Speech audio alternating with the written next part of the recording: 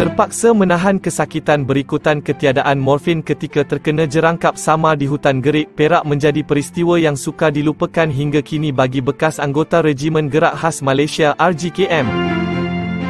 Akibat insiden itu, Sarjan B. Hasanuddin Abdul Karim hilang kaki kiri sehingga paras betis akibat terpijak jerangkap sama ketika menjejaki pengganas komunis 43 tahun lalu.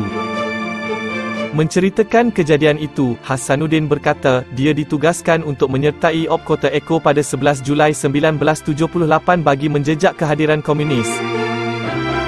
Saya tidak pengsan ketika terkena jerangkap sama itu dan terpaksa menahan kesakitan teramat sangat disebabkan seksyen saya tidak mempunyai morfin bagi mengurangkan rasa sakit. Masih teringat hingga kini apa yang saya rasai ketika itu, saya juga berasa sangat haus dan beberapa kali meminta air sebelum dibawa ke Hospital Pulau Pinang untuk rawatan lanjut. Menurut Hasanuddin, sangat menyedihkan apabila kaki kirinya itu tidak dapat diselamatkan dan terpaksa dipotong bagi mengelak jangkitan lebih serius hingga menyebabkan dia mengalami kecacatan kekal. Selain peristiwa terkena jerangkap sama, saya juga tidak mungkin dapat melupakan situasi ketika menyertai Op Gonzales pada April 1974. Saya dan pasukan diterbangkan ke lokasi menjejak musuh dengan menaiki helikopter dan sebaik tiba kami tidak mendarat namun dikehendaki terjun keluar dalam ketinggian 2 meter atas faktor keselamatan. Menurutnya, usaha menjejaki musuh dimulakan dengan kekuatan seluruh pasukannya seramai 32 anggota sebelum dipecahkan kepada tiga kumpulan. Saya masih ingat arahan ketua seksyen saya iaitu Kopral Zaki yang meminta untuk saya berhati-hati memandangkan saya berada di barisan paling depan ketika itu. Saya beritahu Zaki ketika itu, Baik Kopral, saya akan pastikan penjejakan kita berhasil, lagipun Amin ada bersama saya di depan. Hasanuddin yang memimpin penjejakan ketika itu mula menuruni bukit dan di belakangnya ada TPR, setaraf perbek dipanggil trooper dalam kebanyakan tentera Commonwealth Amin iaitu seorang anggota Angkatan Tentera Orang Asli ATOA yang mahir dalam selok belok hutan. Saya teruskan langkah dan terlihat di depan saya terdapat tiga pokok besar sebelum terdengar satu bunyi letupan tembakan ketika ingin meneruskan perjalanan. Saya terus menjerit meminta rakan lain mencari tempat perlindungan apabila mendapati Amin sudah terkena tembakan pertama musuh. Menurutnya, tiga pokok besar di depannya menjadi penyelamat dirinya daripada terkena tembakan musuh. Saya lihat Amin cedera namun dalam masa sama, saya berusaha membalas tembakan pihak musuh dan dalam masa sama, saya cuba berlindung di sebalik pokok besar.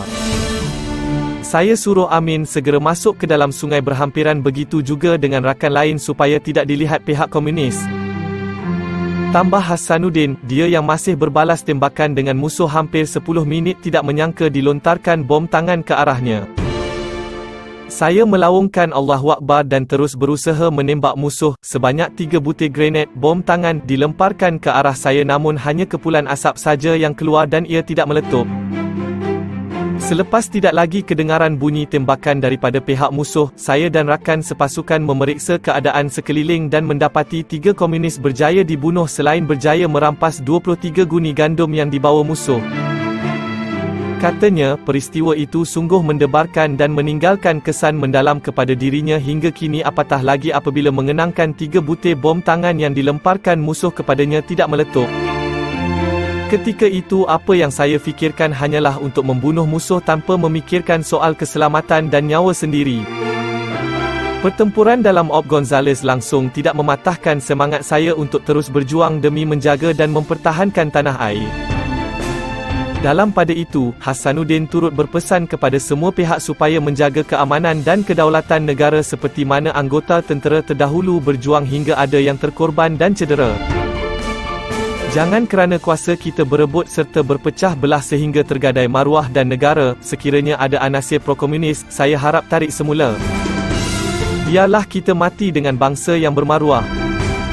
Generasi muda sekarang seharusnya lebih menjaga dan sayangkan negara kerana usaha mencapai kemerdekaan serta mempertahankan keamanan negara bukanlah suatu yang mudah.